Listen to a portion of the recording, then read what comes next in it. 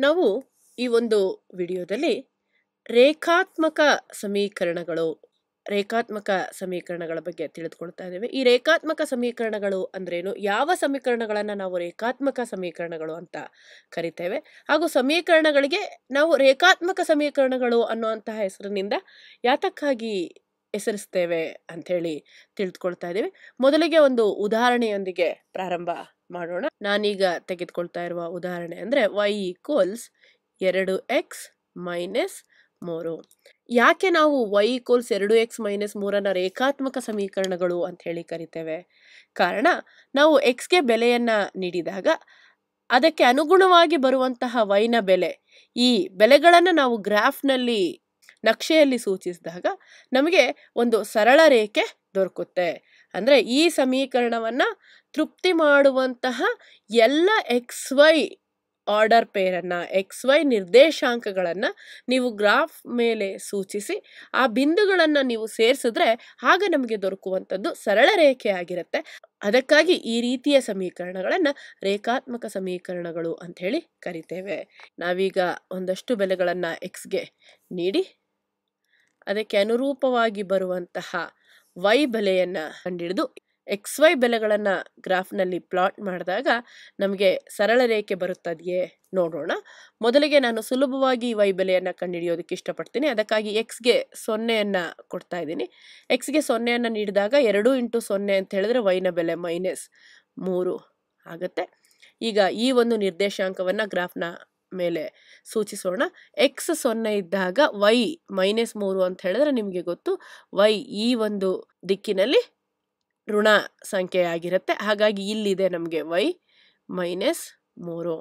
ಇನ್ನು ಎಕ್ಸ್ಗೆ ಒಂದನ್ನು ನೀಡಿದ್ರೆ ಎರಡು ಇಂಟು ಒಂದು ಎರಡು ಆಯಿತು. ಎರಡು ಮೈನಸ್ ಮೂರು ಅಂತ ಹೇಳಿದ್ರೆ ವೈನ ಬೆಲೆ ಮೈನಸ್ ಒಂದು ಆಯಿತು. ಎಕ್ಸ್ನ ಬೆಲೆ ಒಂದು ಇದ್ದಾಗ ವೈನ ಬೆಲೆ ಮೈನಸ್ ಒಂದು ಎಕ್ಸ್ನ ಬೆಲೆ ಒಂದು ಇಲ್ಲಾಗಿದೆ. ಇದು ಮೈನಸ್ ಒಂದು ಆಯಿತು. ಇಲ್ಲಿ ಮಾರ್ಕ್ ಮಾಡ್ತಾ ಇದ್ದೀವಿ.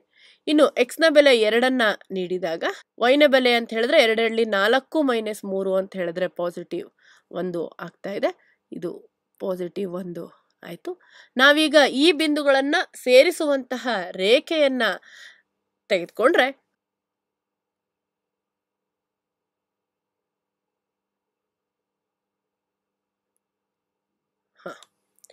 ಈಗ ಈ ಒಂದು ನಕ್ಷೆಯನ್ನು ನೀವು ನೋಡಬಹುದಾಗಿದೆ. ಈ ಒಂದು ರೇಖೆ ವೈ ಇಸ್ ಈಕ್ವಲ್ ಟು ಎರಡು ಎಕ್ಸ್ ಮೈನಸ್ ಮೂರು ಇದರ ಸರಳ ರೇಖೆಯಾಗಿದೆ. ನೀವೀಗ ಗಮನಿಸಿದ್ರೆ ಯಾವ ಎಕ್ಸ್ ವೈ ಬೆಲೆಗಳು ಈ ಒಂದು ಸಮೀಕರಣವನ್ನು ತೃಪ್ತಿ ಮಾಡ್ತಾವೋ ಆ ಎಲ್ಲ ಬೆಲೆಗಳನ್ನು ನಾವು ಗ್ರಾಫ್ನಲ್ಲಿ ಪ್ಲಾಟ್ ಮಾಡಿ ದೊರಕುವಂತಹ ಬಿಂದುಗಳನ್ನು ಸೇರಿಸಿದಾಗ ನಮಗೆ ಒಂದು ಸರಳ ರೇಖೆ ದೊರಕ್ತಾ ಇದೆ. ಹಾಗಾಗಿ ವೈ ಇಸ್ ಈಕ್ವಲ್ ಟು ಎರಡು ಎಕ್ಸ್ ಮೈನಸ್ ಮೂರು ಎಂಬುದು ರೇಖಾತ್ಮಕ ಸಮೀಕರಣ ಆಗಿದೆ.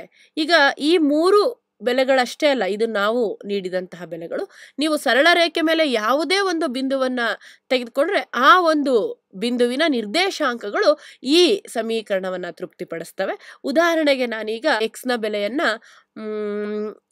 ಮೈನಸ್ ಒಂದು ಬೈ ಎರಡು ಅಂತ ಹೇಳಿ ನೀಡ್ತಾ ಇದ್ದೇನೆ. ಈಗ ವೈನ ಬೆಲೆನ ನೀವು ಗಮನಿಸ್ಬೋದು, ನಿಮಗೆ ಕಾಣಿಸ್ತಾ ಇದೆ. ಅದು ಮೈನಸ್ ನಾಲ್ಕು ಆಗಿರುತ್ತೆ. ಈಗ ಇಲ್ಲಿ ಅದನ್ನು ನೀವು ವೆರಿಫೈ ಸಹ ಮಾಡ್ಬೋದು. ಎಕ್ಸ್ನ ಬೆಲೆ ಮೈನಸ್ ಒಂದು ಬೈ ಎರಡು ಆಯಿತು ಅಂತ ಹೇಳಿದ್ರೆ, ಎರಡು ಇಂಟು ಮೈನಸ್ ಒಂದು ಬೈ ಎರಡು ಮೈನಸ್ ಮೂರು ಅಂತ ಹೇಳಿದ್ರೆ ಎರಡು ಎರಡು ಕ್ಯಾನ್ಸಲ್ ಆಗ್ತಾ ಇದೆ, ದೊರಕ್ತಾ ಇರುವಂಥದ್ದು ಮೈನಸ್ ನಾಲ್ಕು. ನೀವಿಲ್ಲಿ ಗಮನಿಸ್ತಾ ಇದ್ದೀರಿ. ಅಲ್ವಾ?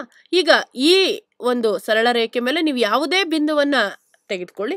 ಉದಾಹರಣೆಗೆ ಈ ಒಂದು ಬಿಂದುನ ತೆಗೆದುಕೊಂಡ್ರೆ ಇದೂ ಸಹ ಈ ಒಂದು ಸಮೀಕರಣವನ್ನು ತೃಪ್ತಿಗೊಳಿಸುತ್ತೆ. ಹಾಗೆ ಈ ಒಂದು ಬಿಂದುವನ್ನು ತೆಗೆದುಕೊಂಡ್ರಿ ಅಂತ ಹೇಳಿದ್ರೆ ಇದೂ ಸಹ ಈ ಒಂದು ಸಮೀಕರಣವನ್ನು ತೃಪ್ತಿಗೊಳಿಸುತ್ತೆ. ಆದರೆ ಈ ಒಂದು ಬಿಂದು ಈ ಸಮೀಕರಣವನ್ನು ತೃಪ್ತಿಗೊಳಿಸ್ತಾ ಇಲ್ಲ. ಕಾರಣ ಎಕ್ಸ್ನ ಬೆಲೆ ಐದು ಇದ್ದಾಗ ವೈನ ಬೆಲೆ ಮೂರು ಇರೋದಿಲ್ಲ ಈ ಒಂದು ಸಮೀಕರಣದಲ್ಲಿ. ವೈನ ಬೆಲೆ ಎಷ್ಟಾಗುತ್ತೆ ಅಂತ ನೋಡಿದ್ರೆ ಎಕ್ಸ್ನ ಬೆಲೆ ಐದು ಆಯಿತು ಅಂತ ಹೇಳಿದ್ರೆ ಎರಡು ಐದ್ಲಿ ಹತ್ತು, ಹತ್ತರಲ್ಲಿ ಮೂರನ್ನು ಕಳೆದ್ವಿ ಅಂತ ಹೇಳಿದ್ರೆ, ಏಳು ಇಲ್ಲಿ ನೀವು ನೋಡಬಹುದು. ಎಕ್ಸ್ನ ಬೆಲೆ ಐದು ಇದ್ದಾಗ ವೈನ ಬೆಲೆ ಏಳು. ಇದು ಈ ಸಮೀಕರಣದ ಒಂದು ಪರಿಹಾರ ಆಗುತ್ತೆ ಹೊರತು, ಇದು ಪರಿಹಾರ ಆಗೋದಿಲ್ಲ. ಹಾಗಾಗಿ ಈ ಬಿಂದು ಈ ಒಂದು ಸರಳ ರೇಖೆ ಮೇಲೆ ಇರೋದಿಲ್ಲ.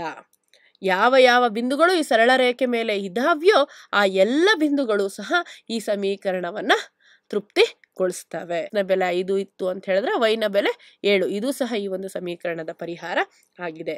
ಈ ರೀತಿಯಾಗಿ ನಾವು ಒಂದು ಸಮೀಕರಣದ ಎಕ್ಸ್ ವೈ ನಿರ್ದೇಶಾಂಕಗಳನ್ನು ಗ್ರಾಫ್ನಲ್ಲಿ ಸೂಚಿಸಿದಾಗ ನಮಗೆ ಒಂದು ಸರಳ ರೇಖೆ ದೊರಕ್ತು ಅಂತ ಹೇಳಿದ್ರೆ ಆಗ ಅದನ್ನು ನಾವು ರೇಖಾತ್ಮಕ ಸಮೀಕರಣ ಅಂತ ಹೇಳಿ ಕರಿತೇವೆ. ಈಗ ನಾವು ಮತ್ತೊಂದು ಉದಾಹರಣೆಯನ್ನು ನೋಡೋಣ. ನಾವು ಯಾವಾಗಲೂ ವೈ ಈಕ್ವಲ್ಸ್ ಎರಡು ಎಕ್ಸ್ ಮೈನಸ್ ಮೂರು ರೂಪದಲ್ಲಿಯೇ ರೇಖಾತ್ಮಕ ಸಮೀಕರಣವನ್ನು ಬರೆಯೋದಿಲ್ಲ. ರೇಖಾತ್ಮಕ ಸಮೀಕರಣಗಳು ಈ ರೀತಿಯಾಗಿಯೂ ಸಹ ಇರ್ತವೆ. ನಾಲ್ಕು ಎಕ್ಸ್ ಮೈನಸ್ ಮೂರು ವೈ ಈಕ್ವಲ್ಸ್ ಹನ್ನೆರಡು. ನಾವು ಈ ಒಂದು ಸಮೀಕರಣವನ್ನು ತೃಪ್ತಿಪಡಿಸುವಂತಹ ಎಕ್ಸ್ ಮತ್ತು ವೈ ಬೆಲೆಗಳನ್ನು ಈ ಗ್ರಾಫ್ನಲ್ಲಿ ಸೂಚಿಸಿ ನೋಡೋಣ. ನಮಗೆ ಸರಳ ರೇಖೆ ದೊರಕುತ್ತೆ ಇಲ್ವೇ ಪರೀಕ್ಷೆ? ಮಾಡೋಣ. ಮೊದಲಿಗೆ ಎಕ್ಸ್ ಮತ್ತು ಅದಕ್ಕೆ ಅನುರೂಪವಾದಂತಹ ವೈ ಬೆಲೆ. ಈಗ ನಾನು ಎಕ್ಸ್ನ ಬೆಲೆ ಸುಲಭವಾಗಿ ಲೆಕ್ಕಾಚಾರ ಮಾಡ್ಬೋದು ಅಂತ ಹೇಳಿದ್ರೆ ಸೊನ್ನೆ. ಎಕ್ಸ್ನ ಬೆಲೆ ಸೊನ್ನೆ ಆಯಿತು ಅಂತ ಹೇಳಿದ್ರೆ ಈ ಇಡೀ ಒಂದು ಟರ್ಮ್ ಸೊನ್ನೆ ಆಗುತ್ತೆ. ಆಗ ಮೈನಸ್ ಮೂರು ವೈ ಈಕ್ವಲ್ಸ್ ಹನ್ನೆರಡು ಆಗುತ್ತೆ. ನಾನು ಮೈನಸ್ ಮೂರರಿಂದ ಎರಡೂ ಬದಿಯಲ್ಲಿ ಭಾಗಿಸ್ದೆ ಅಂತ ಹೇಳಿದ್ರೆ, ಆಗ ನನಗೆ ಈ ಬದಿಯಲ್ಲಿ ವೈ ಇಳ್ಕೊಳ್ಳುತ್ತೆ ಈ ಬದಿಯಲ್ಲಿ ನನಗೆ ಸಿಗುವಂಥದ್ದು ಮೈನಸ್ ನಾಲ್ಕು. ಸೊನ್ನೆ ಕಾಮ ಮೈನಸ್ ನಾಲ್ಕು ಒಂದು ನಿರ್ದೇಶಾಂಕ ಈ ಒಂದು ಸಮೀಕರಣದ ಸರಳ ರೇಖೆಯ ಒಂದು ಬಿಂದು ಆಗಿದೆ. ಎಕ್ಸ್ ಈಕ್ವಲ್ ಸೊನ್ನೆ ಇದ್ದಾಗ ವೈ ಈಕ್ವಲ್ಸ್ ಮೈನಸ್ ನಾಲ್ಕು. ಇಲ್ಲಿ ನಿಮಗೆ ಕಾಣಿಸ್ತಾ ಇದೆ. ಅದನ್ನು ಸ್ವಲ್ಪ ನಾನು ಡಾರ್ಕ್ ಆಗಿ ತೋರಿಸೋಕೆ ಇಷ್ಟಪಡ್ತೇನೆ. ಹಾಂ. ಇಲ್ಲಿ ನಿಮಗೆ ಕಾಣಿಸ್ತಾ ಇದೆ. ನಾವು ಮತ್ತೊಂದು ಬೆಲೆಯನ್ನು ಕಂಡುಹಿಡಿಯೋಣ. ಯಾಕೆಂದರೆ ನಮಗೆ ಕನಿಷ್ಠ ಎರಡು ಬಿಂದು ಇತ್ತು ಅಂತ ಹೇಳಿದ್ರೆ ಸರಳ ರೇಖೆಯನ್ನು ಎಳಿಬಹುದಾಗಿರುತ್ತೆ ವೈನ ಬೆಲೆಯನ್ನು ಸೊನ್ನೆ ಕೊಡ್ತಾ ಇದೆ ಆಗ ಈ ಇಡೀ ಪದ ಸೊನ್ನೆ ಆಗುತ್ತೆ. ನಮಗೆ ಉಳ್ಕೊಳ್ಳೋದು ನಾಲ್ಕು ಎಕ್ಸ್ ಈಕ್ವಲ್ಸ್ ಎರಡು. ನಾವು ಎರಡೂ ಬದಿಯಲ್ಲಿ ನಾಲ್ಕರಿಂದ ಬಾಕ್ಸಿದ್ವಿ ಅಂತ ಹೇಳಿದ್ರೆ ಎಕ್ಸ್ ಈಕ್ವಲ್ಸ್ ಮೂರು ದೊರಕುತ್ತೆ. ಎಕ್ಸ್ನ ಬೆಲೆ ಮೂರು ಇದ್ದಾಗ ವೈನ ಬೆಲೆ ಸೊನ್ನೆ ಆಗಿದೆ. ಈ ಒಂದು ಬಿಂದು ಸಹ ಈ ಒಂದು ಸಮೀಕರಣವನ್ನು ತೃಪ್ತಿಗೊಳಿಸ್ತಾ ಇದೆ. ಈಗ ನಾವು ಈ ಎರಡು ಬಿಂದುಗಳನ್ನು ಸೇರಿಸುವಂತಹ ರೇಖೆಯನ್ನು ತೆಗೆದುಕೊಳ್ಳೋಣ. ಆ ರೇಖೆ ಈ ರೀತಿಯಾಗಿ ಇದೆ ಅಂತ ಅಂದ್ಕೊಂಡ್ರೆ ಹಾ, ನೋಡಿ. ಈ ಒಂದು ಸರಳ ರೇಖೆಯ ಮೇಲಿನ ಎಲ್ಲ ಬಿಂದುಗಳು ಸಹ ಈ ಸಮೀಕರಣವನ್ನು ತೃಪ್ತಿಗೊಳಿಸ್ತವೆ ಅಂತ ಆಯಿತು. ಹಾಗಾದರೆ ಎಲ್ಲ ಸಮೀಕರಣಗಳು ರೇಖಾತ್ಮಕ ಸಮೀಕರಣಗಳೇ ಆಗಿರ್ತವೆಯೇ? ಒಮ್ಮೆ ನೋಡೋಣ. ನಾವು ರೇಖಾತ್ಮಕವಲ್ಲದ ಸಮೀಕರಣಗಳ ಬಗ್ಗೆಯೂ ಸಹ ತಿಳಿದುಕೊಳ್ಳೋಣ. ಈಗ ನಾನು ನಿಮಗೆ ರೇಖಾತ್ಮಕವಲ್ಲದ ಸಮೀಕರಣಗಳು ನ ಕೆಲವನ್ನ ತಿಳಿಸ್ತಾ ಇದ್ದೇನೆ. ಅದಕ್ಕಾಗಿ ಸ್ವಲ್ಪ ಕ್ಯಾನ್ವಾಸನ್ನು ನಾನು ಮೂವ್ ಮಾಡ್ತಾ ಇದ್ದೇನೆ. ರೇಖಾತ್ಮಕವಲ್ಲದ ಸಮೀಕರಣಗಳು. Y equals X square Y equals X square ಈ ಒಂದು ಸಮೀಕರಣದಲ್ಲಿ ಎಕ್ಸ್ ಮತ್ತು ವೈಗೆ ಬೆಲೆಯನ್ನು ನೀಡಿ, ಈ ನಿರ್ದೇಶಾಂಕಗಳನ್ನು, ಈ ಸಮೀಕರಣವನ್ನು ತೃಪ್ತಿಗೊಳಿಸುವಂತಹ ಎಕ್ಸ್ ವೈ ನಿರ್ದೇಶಾಂಕಗಳನ್ನು ನಕ್ಷೆಯಲ್ಲಿ ಪ್ರತಿನಿಧಿಸಿದ್ರಿ ಅಂತ ಹೇಳಿದ್ರೆ, ಆಗ ನಿಮಗೆ ಅದು ಸರಳ ರೇಖೆ ಆಗಿರೋದಿಲ್ಲ. ನೀವು ಅದನ್ನು ವೆರಿಫೈ ಸಹ ಮಾಡ್ಬೋದಾಗಿರುತ್ತೆ. ಮತ್ತೊಂದು ಉದಾಹರಣೆ ಅಂತ ಹೇಳಿದ್ರೆ ಎಕ್ಸ್ ಇಂಟು ವೈ ಈಕ್ವಲ್ಸ್ ಹನ್ನೆರಡು. ಇದು ಸಹ ರೇಖಾತ್ಮಕವಲ್ಲದ ಸಮೀಕರಣಗಳಿಗೆ ಉದಾಹರಣೆಯಾಗಿದೆ. ಹಾಗೆ ಐದು ಬಾಗಿಸು ಎಕ್ಸ್ ಪ್ಲಸ್ ವೈ ಈಕ್ವಲ್ಸ್ ಹತ್ತು. ಈ ಒಂದು ಸಮೀಕರಣ ಸಹ ರೇಖಾತ್ಮಕವಲ್ಲದ ಸಮೀಕರಣಗಳಿಗೆ ಉದಾಹರಣೆಯಾಗಿದೆ.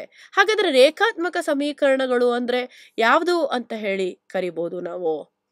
ಒಂದು ಸಮೀಕರಣವನ್ನು ತೃಪ್ತಿಗೊಳಿಸುವಂತಹ ಎಕ್ಸ್ ವೈ ಬೆಲೆಗಳನ್ನು ನಾವು ನಕ್ಷೆಯಲ್ಲಿ ಪ್ರತಿನಿಧಿಸಿದಾಗ ನಮಗೆ ಅದು ಸರಳ ರೇಖೆಯನ್ನು ನೀಡಿದರೆ ಅದು ರೇಖಾತ್ಮಕ ಸಮೀಕರಣ ಆಗಿರುತ್ತೆ. ಇದು ಒಂದು ಡೆಫಿನೇಷನ್ ಆಯಿತು. ಮತ್ತೊಂದು ಅಂತ ಹೇಳಿದ್ರೆ ಈ ಸಮೀಕರಣಗಳಲ್ಲಿ ನಮಗೆ ಯಾವುದೇ ಚರಾಕ್ಷರಗಳನ್ನು ಒಳಗೊಂಡಿರದ ಒಂದು ಸ್ಥಿರಾಂಕ ಇರುತ್ತೆ. ಹಾಗೆ ಚರಾಕ್ಷರ ಎಕ್ಸ್ ಇದೆ ಅಂತ ಹೇಳಿದ್ರೆ ಅದರ ಘಾತ ಒಂದು ಇರುತ್ತೆ. ಹಾಗೂ ಅದನ್ನ ಸಹಗುಣಕದಿಂದ ಗುಣಿಸಲ್ಪಟ್ಟಿರುವಂತಹ ಒಂದು ಪದ ಇರುತ್ತೆ. ಇಲ್ಲೂ ನೀವು ನೋಡಬಹುದಾಗಿರುತ್ತೆ. ಹಾಗೆ ವೈ ಇದೆ ಅಂತ ಹೇಳಿದ್ರೆ ವೈ, ವೈನ ಒಂದು ಘಾತ ಸಹ ಒಂದು ಆಗಿರುತ್ತೆ. ಮತ್ತು ಅದು ಸಹ ಸಹಗುಣಕದಿಂದ ಗುಣಿಸಲ್ಪಟ್ಟಿರುತ್ತೆ. ಹಾಗಾದ್ರೆ ಇಲ್ಲಿ ನೀವು ಗಮನಿಸ್ತಾ ಇದ್ದೀರಾ, ಈ ಸಮೀಕರಣಗಳಲ್ಲಿ ಎಕ್ಸ್ ಮತ್ತು ವೈ ಅನ್ನು ನಾವು ಗುಣಿಸಿಲ್ಲ. ಹಾಗೂ ಎಕ್ಸ್ನ ಘಾತ ಮತ್ತು ವೈನ ಘಾತ ಒಂದು ಹೊರತುಪಡಿಸಿ ಬೇರೆ ಘಾತಗಳಾಗಿಲ್ಲ. ಅಂದರೆ ಘಾತ ಎರಡು, ಘಾತ ಮೂರು, ಘಾತ ಐದು ಈ ರೀತಿಯಾಗಿ ಇಲ್ಲ. ಹಾಗೂ ಎಕ್ಸ್ ಅನ್ನಾಗಲಿ ವೈ ಅನ್ನಾಗಲಿ ನಾವು ಭಾಗಿಸಿಲ್ಲ. ಇಂತಹ ಸಮೀಕರಣಗಳನ್ನು ನಾವು ರೇಖಾತ್ಮಕ ಸಮೀಕರಣಗಳು ಅಂತ ಹೇಳಿ ಕರಿತೇವೆ. ಇವುಗಳ ನಕ್ಷೆ ಸರಳ ರೇಖೆ ಆಗಿರುತ್ತದೆ.